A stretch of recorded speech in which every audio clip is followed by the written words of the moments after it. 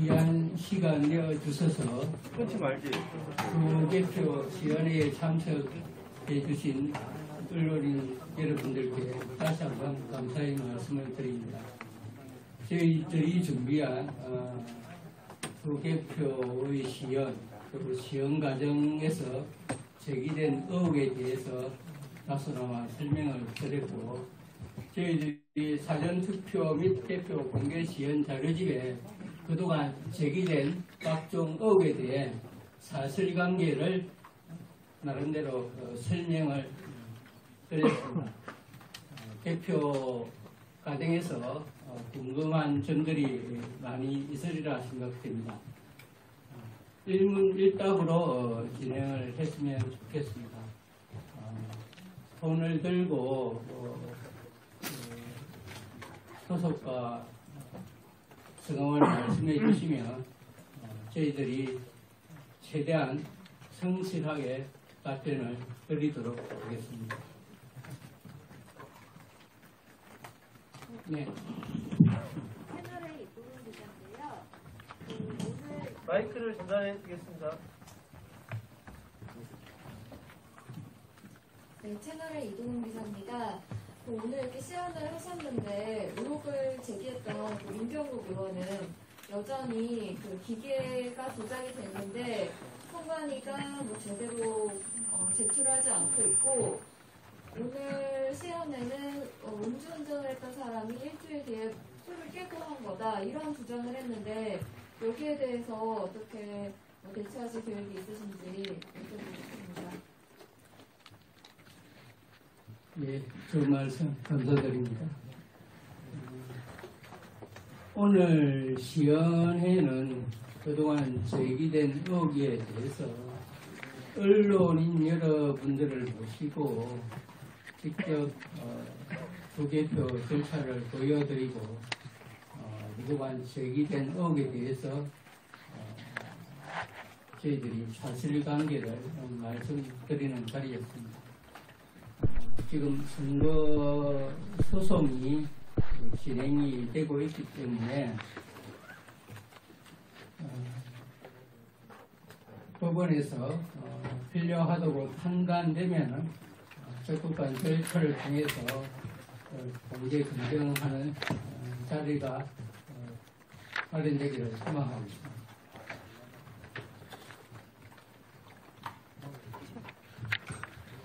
네. 안녕하세요. 김수현이라고 합니다. 제가 말씀드렸더니 전주시 문성구 삼층 상당 사전투표 비례대표 득표시 10장이 더 나왔습니다. 근데 아까 말씀하신 것처럼 지금 뭐 통계 시스템에서 그러니까 잘못 들어갈 수도 있다고 하셨는데 그럼 통계 시스템에서는 확인해 보면 다른 곳에서는 표가 줄었어야 하는데 아무 문제가 없는 것으로 나왔습니다. 그럼 이 유령표 10표는 어떻게 된 것입니까? 네, 그 부분은 우리 선거 일과장께서 구체적 답변을 드리겠습니다. 지금 질문하신 전주시 완산구 삼천 마이크, 산동 마이크 좀 넘어간다고 말씀해 주세요. 잠시만요. 마이크. 네. 전주시 완산구 삼천 산동 관내 수전투표 일대 투표수가 투표용 투표수보다 열매가 많이 나왔습니다. 저희도 이 열매가 많이 나온 거에 대해서 좀 당황스럽긴 한데요. 저희가 지금 확인한 바로는 아까도 설명드렸듯이 관외 사전투표함에 이송용 봉투에 투입하여 넣어야 되는데 그렇지 않고 알투표로 된 경우라든가 그리고 투표 투표가 끝난 후 대표 시연에서 보셨듯이 대표장은 지금보다 훨씬 혼란스럽습니다. 그러다 보니 개표 과정에서 그 표가 앞당, 앞에 과정으로 넘어가지 않고 있던 게 포함될 수도 있고요. 그리고 지금 그 기자 질문하신 분이 말씀하셨는데 그러면 열표가 뭐 모자라는 데가 있어야 되는 게 아니냐라고 말씀하셨는데 완상구를 보면 서신동 구투표 투표지가 투표지 열매가 지금 부족한 것으로 나타나고 있습니다. 아마도 이 표지가 이쪽으로 잘못 분리된 게 아닌가 저희는 생각하고 있습니다.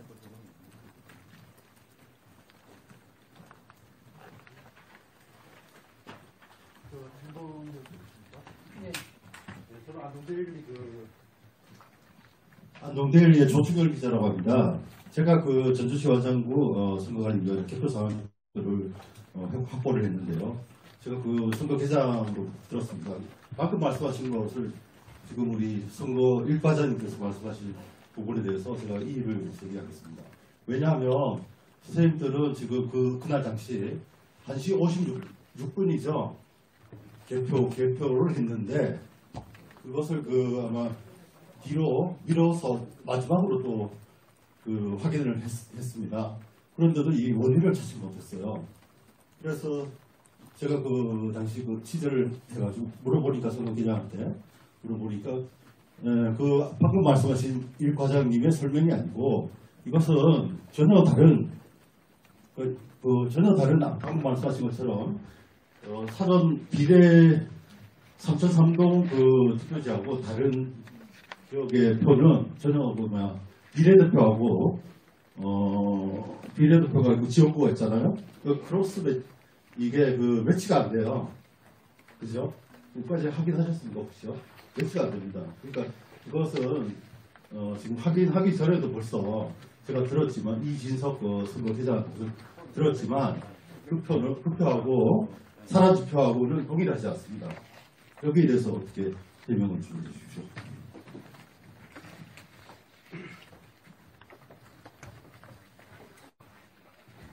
지금 말씀하신 것과 같이 투표지를 직접 다 확인해 보면 정확하게 원인이 규명될 거라 생각됩니다. 그러나 지금 투표지가 그 열표가 뭡니까? 그러니까 열표에 열표에 대해서 말씀드리는 겁니다. 열표가 많이 나왔는데 이 열표가 어디서 나왔는지 확인을 하려면 투표지를 일일이 다 확인을 해봐야 정확한 원인이 규명될 것입니다. 아까 말씀드린 거는 지금 현재로 추정되기를 그렇게 추정된다는 얘기고 실질적으로 투표지를 전량을 지금 4천 4,683회가 나왔다고 했습니다. 이 4,683회 전량을 좀 확인해 보면 원인이 정확히 밝혀질 것이라 생각합니다. 그러나 지금 소송을 방금 말씀하셨기 때문에 그 우리가 방금 우리가 그 시연을 다쳤으니까 그것으로 봤을 때 이런 에러 실수가 저 거의 없거든요. 그래서 그 당시 그 선거 개장은 확인도 많이 했고 했지만 있을 수 없어서 저한테 곤혹스럽다 이런 얘기를 했고요. 나중에 그 7시 그때 그 4월 16일 날 그 7시 몇 분에 이제 그 마감을 했는데 그때도 원인 파악도 못하고 어 그 선관위하고 전라북도 선관위하고 중앙선관위 에 물어봤는데 그 원인 규명을 못했어요. 그렇다면은 지금 이게 공직선거법 249조를 명백히 그 위반한 거죠. 그러면 수사기관에 이 내용을 알려서 원인을 규명해야 되지 않나, 않나 이렇게 생각하는데 여기에 대해서 답변 부탁드리겠습니다. 수사기관의 원인을 규명하기 전에 투표지를 전량 다시 한번 확인해서 과연 어디에서 이런 사고가 발생했는지를 밝히는 게 우선이 될 것입니다. 저희는 지금 소송이 제기 중인 곳이 많이 있고 검 재검을 하는 곳이 있기 때문에 투표지를 개함하여 지금 위원장이 공인해 있는 투표지를 열어서 전량 지금 확인할 수 없기 때문에 아까 말씀드린 것처럼 추정하는 부분을 말씀드린 거고 만약에 모든 수송이 종료된다면 이 투표지를 해서 원인을 정확히 밝혀 다음에는 이런 일이 발생하지 않도록 예방하고 교육을 철저히 하도록 하겠습니다. 이상 선거과장께서 어, 보충 설명을 바랍니다. 지금 마이크 좀 옮길게요.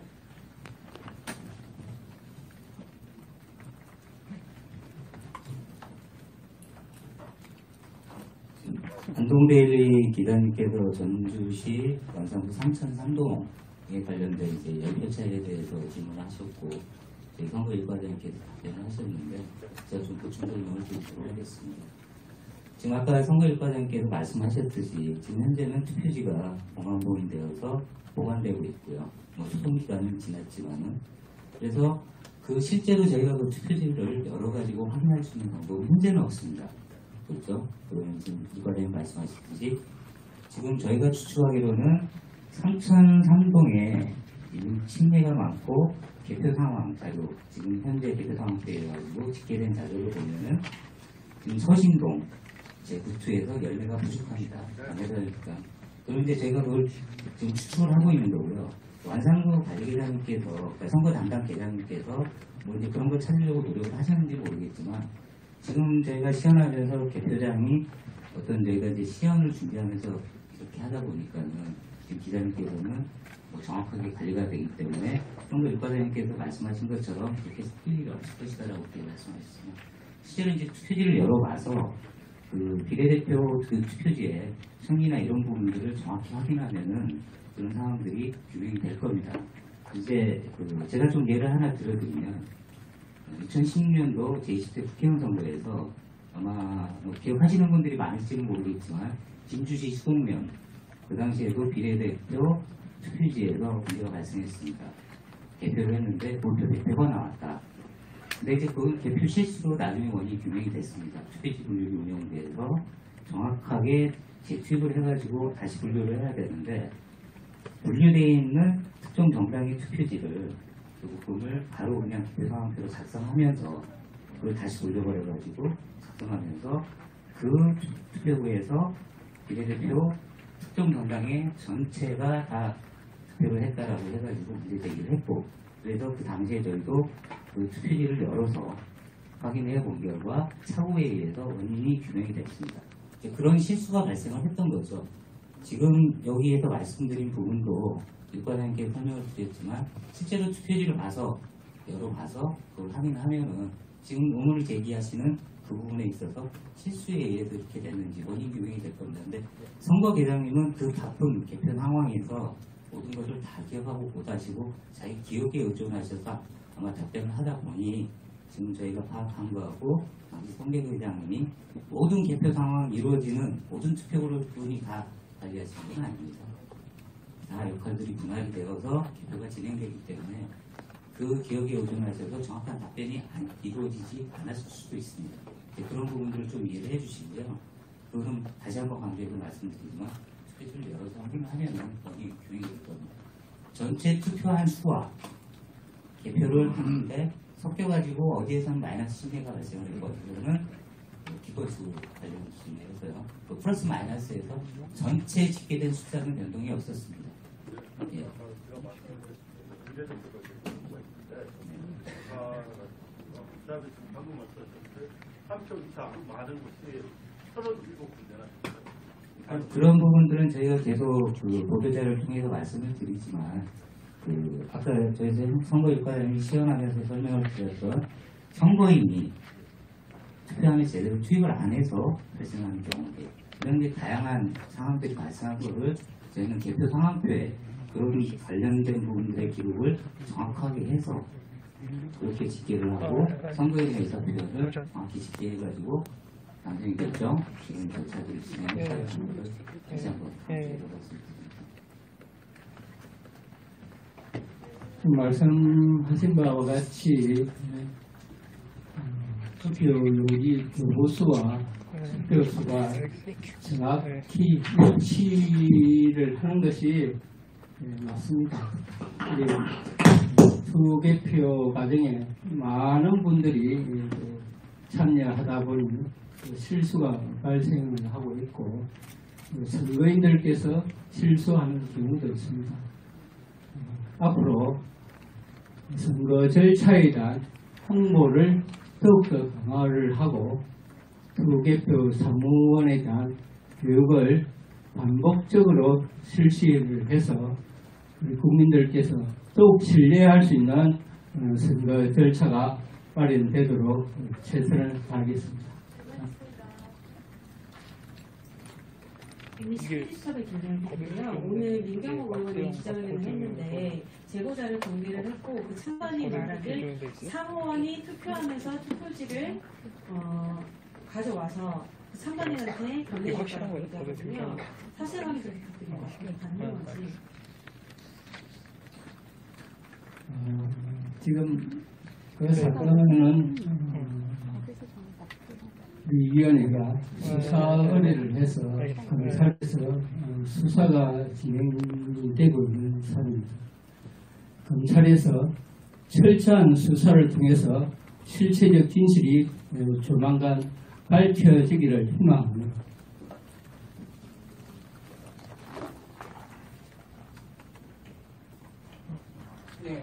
어, 질의해 주십시오. 이스타 라이브 뉴스 김승대입니다. LG 그랜 노트북의 노트북은 랜카드가 인베드, 그러니까 장착이 돼서 탈착이 불가능하다는 지정됐다고 하는데 현재 LG 그랜 노트북이 만큼 사용되는지 확인하고 싶고요. 지금 프리시 승관위에 개표기가 4대가 있다고 합니다. 다른 승관위에도 현재 개표기가 각 지역구에 있는지 알고 싶습니다. 예, 그래서 여기까지 말씀해 주시고. 네,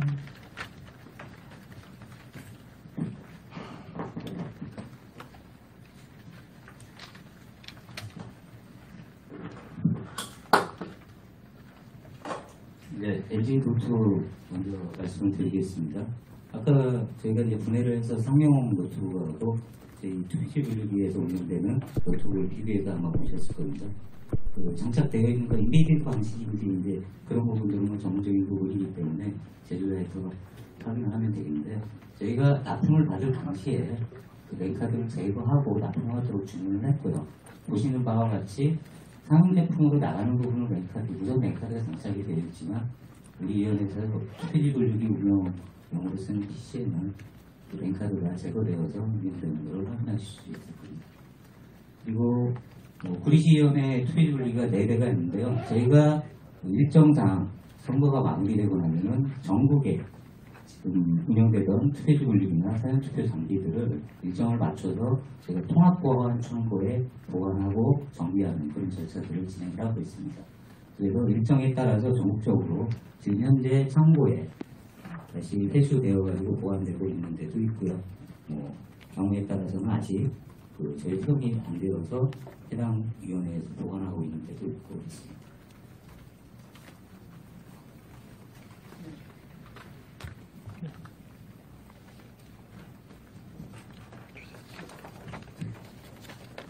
예, 안녕하세요. 뉴시스입니다. 그 혹시 사전 투표지의 QR 코드를 투개표 과정에서 인식하는 과정이 있는지랑 없다면 왜 사전 투표지에 법에 규정된 막대형 바코드가 아니라 QR 코드를 넣는지에 대한 설명하고요. 마지막으로 그 투표지 분류기의 그 노트북 그램에 그 USB 포트가 있는데 그 USB 포트는 어떤 걸 위한 USB 포트인지 제가 알기로는 USB 포트에도 USB 포트 랜 선을 꽂을 수 있는 포트가 있는데 그걸 활용하면 통신이 외부와 유선 형태로 가능하다는 걸로 알고 있거든요. 그거에 대한 좀 답변을 부탁드립니다. 네, 이제 QR코드 부분 먼저 설명을 드리겠습니다. 좀 시간이 길어질지는 모르겠지만 아까 시연을 할 때 확인들을 하셨을 겁니다. 어, 사전투표용지에 QR코드가 기재되는 부분에 있어서 정상적으로 진행되는 부분 말고 나중에 확인하셨을 겁니다. 선거별, 선거구별로 구분하는.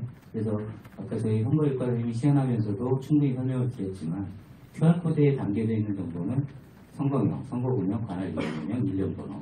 이제 그 법제화 당시에 그 관련 정보들을 넣었던 이유는 지방선거 같은 경우는 관내 사전 투표함에 투표지가 일곱 장이 들어갑니다. 그러면 이제 물론 계안부에서 먼저 선거별로 분류를 하고 그 다음에 투표지 분류기 운영부로 넘기게 되면은 좀 시간이 많이 걸리는 그런 단점들이 있습니다. 근데 뭐 작은 그 관할 선거인 수나 이런 데가 작은 데는 크게 문제가 안 되겠지만 서울처럼 선거인 수가 많고 투표율이, 투표율이 높은 지역인 경우에는 그 선거별로 분류하는 것도 꽤 어려운 작업입니다. 그래서 투표지 분류기에 QR코드에 그런 정보를 담아서 QR코드를 읽어가지고 선거별로 분류하고자 목적을 그렇게 가지고 그 QR코드에 그런 내용들을 담았던 거고요. 이번 국회의원 선거에서는 QR코드를 인식하지는 않았습니다. 그러니까 사용할 목적이 없죠. 두 개의 투표이기 때문에. 근데 이제 2018년 같은 경우에는 그 QR코드를 읽어서 선거별로 먼저 분류를 하고 그다음에 선거별로 분류된 투표지를 다시 후보자별로 분류하는 그런 개표의 정확성과 효율성을 위해서 저희가 도입을 하게 된 거고요. 그 처리 과정을 좀 말씀을 드리면 아까 보셨듯이 그 분류기를 분해를 했을 때 스캐너라고 해서 센서 장비가 다 장착이 되어 있습니다. 이게 어떤 거는 뭐 QR코드만 인식해서 뭐 QR코드만 처리하고 이런 과정이 아니고요. 기본적으로 투표지가 지나가면은 투표지 전체를 이미지로 딱 찍어냅니다. 그래서 그걸 운영 PC로 넘기게 되면은 운영 PC에 이미지를 프로세싱하는 소프트웨어 프로그램이 있어서 후보자별로 분류를 하라 그러면은 기존에 등록되어 있는 투표 용지를 기준으로 이 투표지에 기표되어 있는 안이 후보자한테 정확히 기표가 되었는지 유효로 처리하는 그런 처리 과정을 처리를 해서 후보자를 분류를 하고 말씀드렸듯이 판단하기 어려운 투표지는 재확인 대상으로 빠지게 됩니다. 근데 이제 선거별로 분류를 할 때는 QR 코드만 읽어서 처리를 할 수 있기 때문에 이 투표지에 들어있는 어떤 후보자 정보라든지 기표란을 읽을 필요가 없겠죠. 그래서 선거별 기능을 이용을 하면은 QR 코드 부분만 인식해서 거기에 기록되어 있는 선거명, 선거구명, 관할위원회, 위원회명 등 정보를 이용해서 선거별로 분류하게 됩니다. 즉, 그 부분에 대해서 뭐 오해가 없으시고 저희 선거관리위원회에서 음, 개표 과정의 정확성이나 효율성을 위해서 그런 용도로 활용하고 있다라고 이해를 하시면 될 것 같고요. 그 다음에 노트북의 USB 포트를 말씀하셨는데 아까 그 저희가 시연을 하면서 공안봉이 되어 있던 부분들 근데 실제로 노트북이 장착되어 있을 때는 노트북 부분에다가 USB 포트에다가 뭔가 꽂을 수 있는 그것이 되어 있지는 않습니다. 다만 일체형 장비이다 보니까 뒷부분에 어떤 장비 장치들을 꽂아가지고 그 활용할 수 있도록 그래서 아까 시사할 때 마우스도 꽂아는 작업들이 있었을 거고요. 그 다음에 지금 뭐 무선 랜카드도 다 제거되어 있고 그러다 보니 운영 PC에 그 선거 때마다 운영 프로그램들을 기능을 개선한다든지 변경을 해가지고 운영을 해야 되지 않습니까? 이제 그런 경우를 위해서 보안 USB라고 그래서 아무 USB나 꽂으면 다 인식하는 게 아니라요. 우리 위원회에서 보안 USB 용도로 그걸 도입을 해가지고 보안 USB의 프로그램이나 관련 정보들을 변경해야 되는 경우에 그 USB를 꽂아서 프로그램을 변경하는 그런 전차로 활용하도록 그렇게 USB 포트로 활용을 하고 있고요. 그리고 개표장에서 실제로 개표가 이루어질 때 거기에 가서 지금 말씀하신 것처럼 아마 지금 다 그렇게도 활용하고 계실지 모르겠는데 노트북에 USB에다가 태블릿이나 블루투스 같은 걸 이용해가지고 웹 통신할 수 있습니다. 네, 말씀드렸지만 무선 랜카드가 제거되면서 블루투스 이런 기능 전혀 사용할 수가 없고요. 거기에 누가 뭔가를 꽂아가지고 네트워크에 접근할 수 있다는 거는 개표장 환경을 아시는 분들은 그런 말씀을 하실 수가 없거든요. 그래서 보안 체계라든지 소프트웨어에 대한 부분들, 하드웨어에 대한, 하드웨어에 대한 부분들, 인- 물적, 인적 보안 체계를 다 갖추어서 안전하게 누구도 접근할 수 없는 그런 보안 체계를 구축해가지고 운영을 하고 있습니다. 여기에 로그를 주장하시는 분들처럼 누가 개입해서 해킹을 한다거나 조작할 수 있는 제가 설명한 부분에 있어서 할 수 있다라고 얘기하시는 이 자리에 있습니까? 이렇게 안전하게 저희가 관리하고 또 운영하고 있습니다.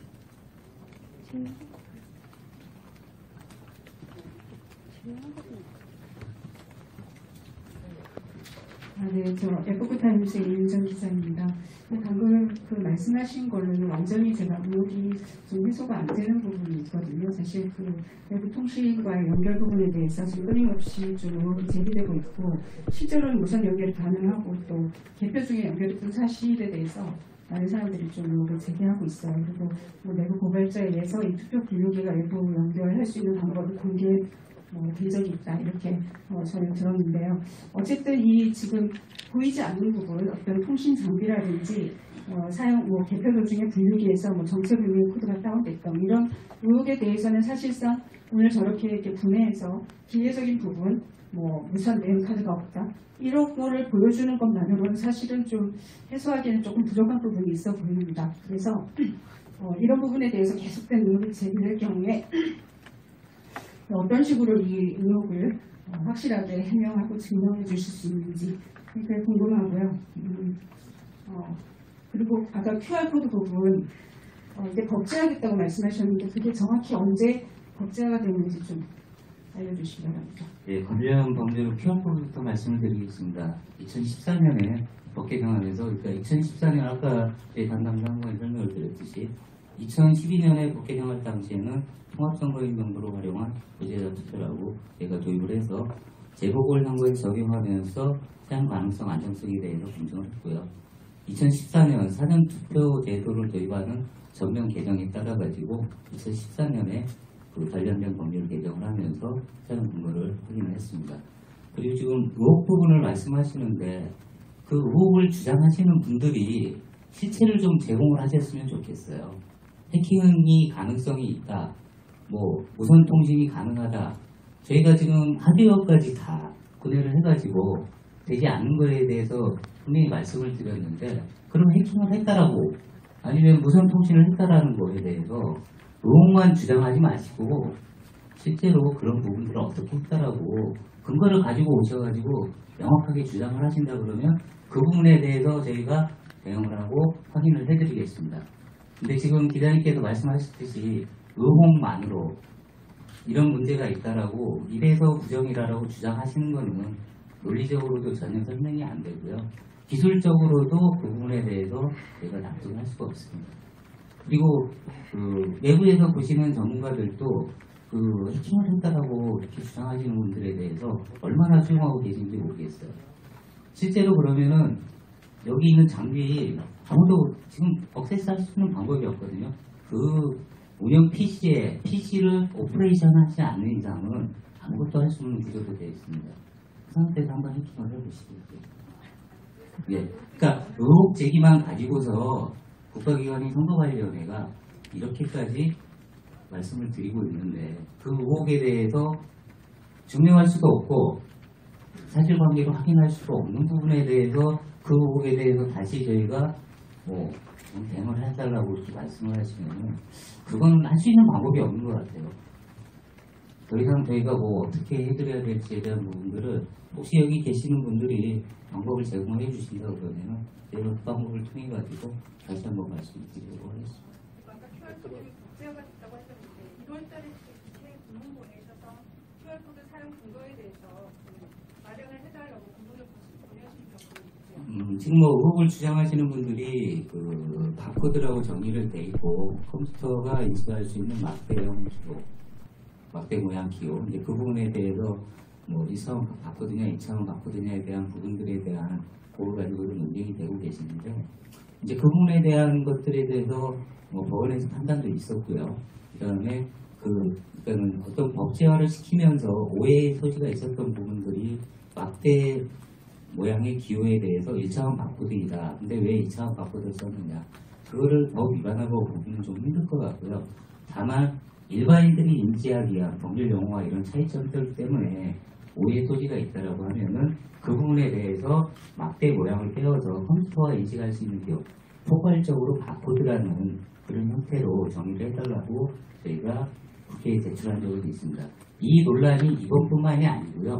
그 전에도 있었던 부분이기 때문에 법률 용어를 좀 더 정리화시키자는 차원에서 그런 저희가 개선 의견을 제출했던 적이 있습니다. 그 부분과 관련해서 지난 수제 대선 선거 무효 소송에서도 어, 대법원에서 기가 어, 결정을 한 바 있고요.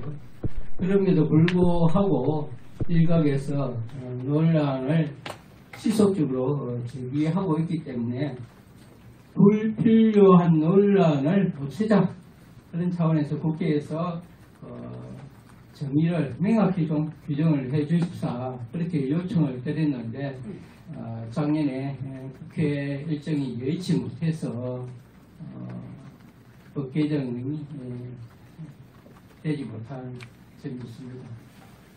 21대 국회가 개헌되면 이렇게 논란이 제기되는 문제에 대한 어, 밖의 의견을 충분히 수렴해서 어, 여야가 조속히 선거법을 어, 개정해 주시기를 희망합니다. 그리고 앞서 그 계속 그 홍수를 통한 어, 통계 조작 이렇게 말씀을 하시는데 기본적으로 우리나라는 전자 선거가 아닙니다. 여러분들 다 투표소에 가서 실물 투표지를 받고 어, 투표를 하지 않습니까? 그 실물 투표지를 가지고 개표를 진행합니다. 어, 그 개표 진행한 실물 투표지가 어, 우리 위원회에 보관되어 있고 선거 소송이 진행 중에서 일부는 어, 법원에 보관되어 있습니다. 그리고 아까 시연에서 보셨다시피 어, 개표장에서 개표한 그 개표 사항표를 실시간으로 다 공유를 하고 있습니다. 그 자료 또한 어, 우리 어, 대국민 공개 시스- 시스템을 통해서 공개가 되고 있고 언론을 통해서도 공개가 되고 있습니다. 얼마든지 삼각 대사가 가능합니다. 이 통신을 통해서 어, 인위적으로 조작을 한다고 해서 어느 국민이 믿겠습니까? 그거는 우리 선거 시스템에 기반한 어, 문제 제기가 아닌 것입니다. 기본적으로 국가 시스템에 대한 믿음과 신뢰를 주셔야죠. 근거 없이 부정만 제기하고 그래 그걸 해명해라라고 한다면은 어디까지 저희들이 해야 믿을 수 있을지 예, 한번 기자님들께 여쭙고 싶습니다. 질의를 안 하신 기자님들께서 좀 질의를 해주시죠. 어, 죄송한데요. 지금 선거 이과장하고 선거국장은 지금 지난해 그 법률 안으로 국회에다가 명령하는 겁니까? 국회를 선관위가 들어야 되는 거 아니에요? 불림기하고 있습니까 거기에? 그리고요 사전투표지가 조작됐는 것을 알고 있지 않습니까? 저는 알고 있어요. 네? 얘기해 보세요. 사전투표지가 조작되었는지 안 되었는지 저는 알고 있는데 거기에 대해서 답변 국장이 웃으시지 마시고요. 알고 계신 부분에 대해서 제가 얘기할까요? 예. 공직선거 절차 사무편람이라고 있습니다. 어, 혹시 아십니까? 여기에 대해서 누가 하시 아니 말 답변하세요. 지금 선생님들이 지금 국민을 알기를 진짜 이런 식으로 자, 아까 뭐라 뭐라고 했습니까? 뭐 국민이 우리를 믿지 못하면 이렇게 믿지 못하게 하지 않습니까? 제가 얘기 말씀드리겠습니다. QR 코드는 두 가지 그 사전 투표 용지의 QR 코드를 정확하게 이해 질의 시간이니까요. 질의를 하시고. 기대하는 거예요 지금. 지금 다른 기회. 아, 답하라고 그랬잖아요 제가. 제가 얘기하면 지금 하지 말까요? 이 부분은 이 부분은 다른 쪽에 예 말씀. 기자님 질문하시는데요. 그 아까 아까도 질문을 많이 하셨고 질문을 못 하시는 기자분들이 계시기 때문에 아까 말씀하시기를 기자 이게 질문 안 하신 이게 분이 일단 질문을 시원해 하실 수 한 있도록 거는 제가 나갈게요. 이런 식으로 시원해가지고 예, 저희 앞으로 좀? 구성해 주세요. 그리고 부족한 증거가 예, 있으면 제출해 주시기 바랍니다. 그러면 선생님, 다음 다음 질문 받겠습니다. 예? 다음 질문 받겠습니다. 저 뒤에 여성분 정말 아유 예. 국민 알기를 진짜 웃게 하는데요. 그럴 것 같아요. 안녕하세요. 씁니까? 권순정입니다. 아니에요? 그 밖에 계신 분들께서. 저희가 들어올 때 어, 자기네 나름대로는 증거라고 이런 걸 주셨는데요. 이거에 대한 설명 좀 부탁드립니다.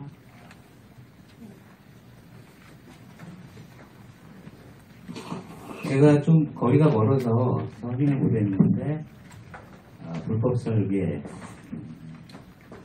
투피 분류기에 들어가 있는 이 칩을 아마 말씀하시는 것 같은데 이게, 이게 어떤 문제가 되는지 저는 정확히 모르겠어요. 그, 아, 어떤 용도로 쓰이는지요. 어, 좀, 아마 지금 위치한 저기가 약간 다르다 보니까 그 뭐 MCU, FPGA라고 표현을 하셨는데 그럼 이제 컴퓨터 같은 경우는 CPU라고 그래서 중앙 연산 처리 장치라고 보통 얘기를 하죠. 뭐 인텔이나 뭐 제주가 에버들이 작성을 하고 또뭐 NPU 뭐 이런 얘기들을 혹시 들어보셨는지 모르겠습니다. 그래서 이제 투표지 분류기도 뭐 이미지를 처리하고 어떻게 보면은 컴퓨팅하는 기본적인 성능들을 그 기능들을 가지고 있다 보니까 그 투표지 분류기 안에 어떤 뭐 중앙 처리를 하기 위한 이런 처리를 하기 위한 그 컨트롤러들을 장착을 하게 됩니다. 그 중에 이제 그 여기서 말하는 MCU라고 되어 있는 부분은 뭐 메인 구동으로 메인 모터를 구동한다거나 펜 센서 등 이런 것들을 전반적으로 처리하기 위한 그러니까 보시면 이제 이미지 처리하고 분류 장치에 포켓에다 넣고 하는 이런 작업들을 하는 그런 것들을 전문적으로 너는 이것만 처리를 해라.